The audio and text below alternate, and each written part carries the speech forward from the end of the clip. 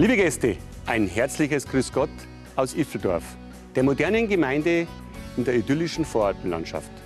Hier bei uns finden Sie in einer Bilderbuchlandschaft nicht nur attraktive Wohn- und Freizeitmöglichkeiten, sondern mit den Osterseen ein einzigartiges Naturschutzgebiet.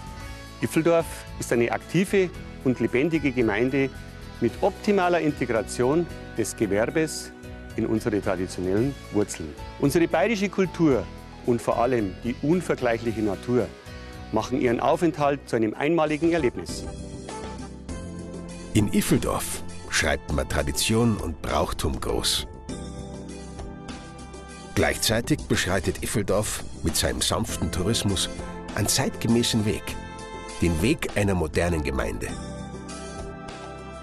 Zentral gelegen im Süden Münchens, zwischen dem Starnberger See und den Alpen, laden sie inmitten sanfter Hügel die Osterseen, auch Tränen des Starnberger Sees genannt, zum Entspannen und Erholen ein.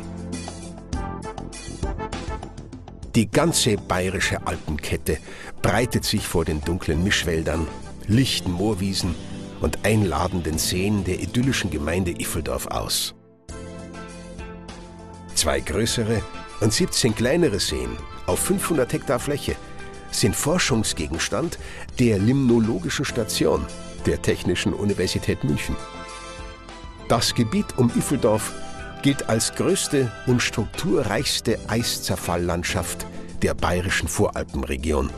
Mit europaweiter Bedeutung für die naturwissenschaftliche Grundlagenforschung.